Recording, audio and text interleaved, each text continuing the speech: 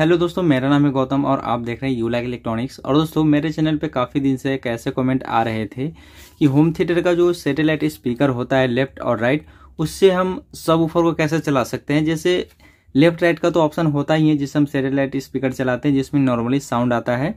और एक आईसी होता है, जिसमें हम सब ऊपर चलाते हैं, जिसे सिर्फ़ बेस देता है।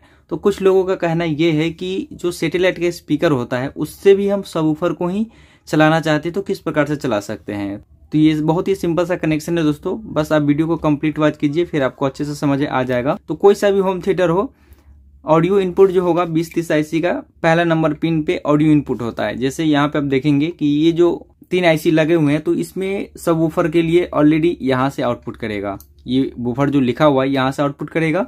बाकी ये दोनों से सिर्फ़ साउंड आउटपुट करेगा, जो कि स्पीकर के लिए यहाँ पे दिया गया है। इस आईसी का जो पहला नंबर पिन होता है, वहाँ से कनेक्शन इसमें कुछ रिमूव करना पड़ेगा। जैसे लेफ़्ट राइट इनपुट यहाँ से देते हैं। तो इस पोटेंशियोमीटर के थ्रू यहाँ पे रेजिस्टेंस के थ्रू ये पीएफ जो लगा होता है तो ये पीएफ के थ्रू इसमें इनपुट होता है। और एक रेजिस्टेंस इसी के साथ में लगा होता है तो ये ग्राउंड में चला जाता है नो इसको रिमूव करने के लिए। बाकी यहाँ पे पीएफ भी लगा होता है तो इसी पीएफ के थ्रू यहाँ पे ऑडियो इनपुट होता है। जैसे आप यहाँ पे देखेंगे, ये जो हमारा बीस तीस आईसी है इसका ये पहला नंबर पिन है। तो यहाँ पे आप देखेंगे, एक प्रिंट यहाँ पे है और एक प्रिंट यहाँ पे है। तो ये वाला प्रिंट रेजिस्टेंस है जो कि रेजिस्टेंस ग्राउंड में चला जाता है। इसके सीधे ये वाला प्रिंट आता है, इसके सीधे यहाँ पे आता है। ये जो हमारा प्रिंट है यहाँ पे और यहाँ पे आप देखेंगे कि एक अलग से एक पीएफ लगा होता है जो कि ये ग्रीन कलर का ये वाला जो है, एक यहाँ पे है, एक यहाँ पे, दोनों चैनल पे। तो यहाँ पे लगा था और यहाँ पे लगा था और इसके थ्रू ये देखेंगे क्या वॉल्यूम में आता है। तो ये ऑडियो इनपुट नॉर्मल होता है। तो हमें करना क्या है कि इस पीएफ को यहाँ से हटा देना होता है। यहाँ पे मैंने हटा दिया है। तो अब यहाँ पे ऑडियो इनपुट नहीं काम करेगा, क्योंकि पीएफ के थ्रू इसमें ऑडियो इनपुट हो रहा था तो मैंने इसको यहाँ से रिमूव कर दिया। तो यहाँ पे अब ऑडियो इनपुट का सिग्नल नहीं जाएगा। तो हमें क्या करना है कि इस दोनों आईसी से बेस चाहिए। तो लो फ्रिक्वेंसी के लिए यहाँ से तो आउटपुट करता है, और इस पोटेंशियोमीटर में आता है, जो कि बेस को कंट्रोल करता है, और यहाँ पे आता है। तो यहाँ पे जो आता है, आप देखेंगे कि रेजिस्टेंस के थ्रू आता है यहाँ पे। जैसे एक नंबर इसका है तो एक हमारा यहाँ पे दो रेजिस्टेंस लगा हुआ एक यहाँ पे है, एक यहाँ पे है।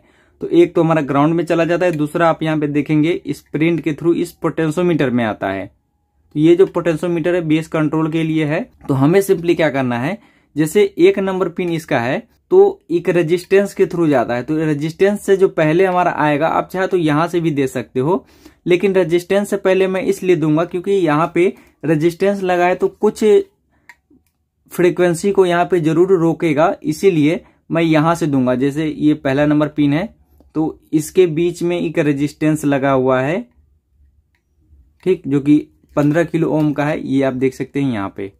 पंद्रह किलो ओम का ये रेजिस्टेंस लगा हुआ है, जो कि इसमें इनपुट होता है। तो मैं यहाँ से इस पोटेंशियोमीटर के, चाहे तो बीच वाले से ले सकते हो, या आप यहाँ से ले सकते हो। अगर आपको ज़्यादा समझ में नहीं आता है तो जिस आईसी से आपका ऑलरेडी बेस आता है, उसका पहला नंबर पिन से वायर को उठाकर इस दोनों आईसी के पहला नंबर पिन में इनपुट कर देना है, जैसे यहाँ है। तो मैं यहाँ से दे देता हूँ। तो मैं यहाँ से लेके यहाँ पे दे दूँगा और यहाँ पे दे दूँगा इस आईसी के पहला नंबर पिन में। जहाँ से मैंने इस पीएफ का ये पहला वाला पिन को रिमूव किया था, उसी पे देना है। तो यहाँ से जो लो फ्रिक्वेंसी होगा, जिसको अगर हम आसान भाषा में बोले तो जो जिसको आप धमक बोलते हो तो ये धमक जो इस आईसी पे आएगा तो वही धमक जो है इस आईसी पे जाएगा और इस आईसी पे जाएगा। तो जहाँ पहले साउंड आता था, वहाँ पे सिर्फ़ बेस आएगा। तो आइए हम यहाँ पे इस वायर को कनेक्शन कर लेते हैं। उसके बाद मैं आपको चेक करके दिखाता हूँ। यहाँ पर मैंने एक वायर के ज़रिए ये जो इनपुट होता है तो रेजिस्टेंस से पहले मैंने दे दिया है। आप यहाँ से भी दे सकते हो, लेकिन मैंने यहाँ से दे दिया है ताकि कुछ बेस इसमें अच्छे से इंक्रीज हो। तो मैंने यहाँ से लेके इसमें दे दिया, यहाँ से लेके इसमें दे दिया। अगर आप चाहते हो कि यही वायर लेकर और आईसी में दे दिया जाए तो बेस आएगा, लेकिन बेस का क्वालिटी बहुत ही खराब हो जाएगा। तो दो तीन आईसी तक ये मैनेज कर लेता है। बाकी अगर और चलाना चाहते हैं तो उसके लिए अलग अलग लो फ्रिक्वेंसी यूज़ करना पड़ेगा। सब ऊपर एक तो यहाँ पे ऑलरेडी रहेगा, जैसे पहले होता था। और ये जो सेटेलाइट स्पीकर होता है, इसके जगह पर हमें सब ऊफर को लगाना है। स्पीकर को नहीं लगाना है। सब ऊफर होगा, जैसे ये। एक बूफर स्पीकर अलग हो जाता है और सब ऊफर अलग हो जाता है। तो मैं दो चैनल पे, एक तो हमारा ये ऑलरेडी है, लेकिन इस पे मैं सब ऊपर को चला के अब दिखाता हूँ। तो आइए इसमें फटाफट से कनेक्शन कर लेते हैं, उसके बाद मैं आपको दिखाता हूँ। तो दोस्तों, मैंने यहाँ पे इस होम थिएटर बोर्ड पे मैंने ट्रांसफार्मर का कनेक्शन कर दिया है, और चेक करने के लिए मैंने यहाँ पे सिर्फ़ 3.5 पॉइंट mm का जैक मैंने लगा दिया है, ताकि सिंपली मैं आपको चेक करके दिखा देता हूँ। तो यहाँ पे पहले जो सेटेलाइट स्पीकर के लिए यहाँ से आउटपुट होता था, जो कि नॉर्मली साउंड होता था, यहाँ पे हम एक जैक लगा देंगे, और इसमें एक एक चैनल पे आपको सब ऊफर को लगाकर दिखाते हैं कि यहाँ पे सिर्फ़ बेस आएगा। पहले साउंड आता था, अब बेस आएगा। तो यहाँ पे हमारा सिर्फ़ सब ऊफर है। और आपको चेक करके दिखा देता हूँ। मैं यहाँ पे ऑन कर लेता हूँ। ये ऑडियो इनपुट हो गया है इसमें। देखिए, मैं एक एक चैनल को आपको चेक करके दिखा देता हूँ। ये ग्राउंड है। और दूसरे चैनल पे मैं लगा देता हूँ यहाँ पे। ये सेटेलाइट वाला ही सेक्शन है। और वहाँ से हमारा बेस आ रहा है। तो ये बेस वहीं से कंट्रोल होगा, जो कि नॉर्मली सब ऊपर जहाँ से पहले होता था। मेन तो हमारा ये वॉल्यूम ही रहेगा ट्रेवल नहीं काम करेगा। ये तो मेन वॉल्यूम हमारा रहेगा, उसके बाद ये बेस कंट्रोल होगा। इसी से तीनों आईसी कंट्रोल होगा।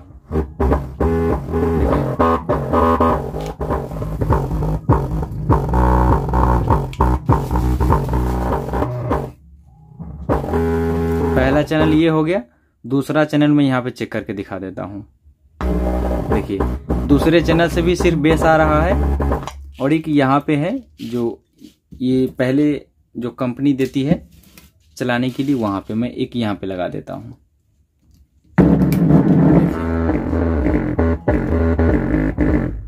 तो ये सब ऊपर थोड़ा कम वाट का है, इसलिए ज़्यादा ये मूव कर रहा है। देखिए।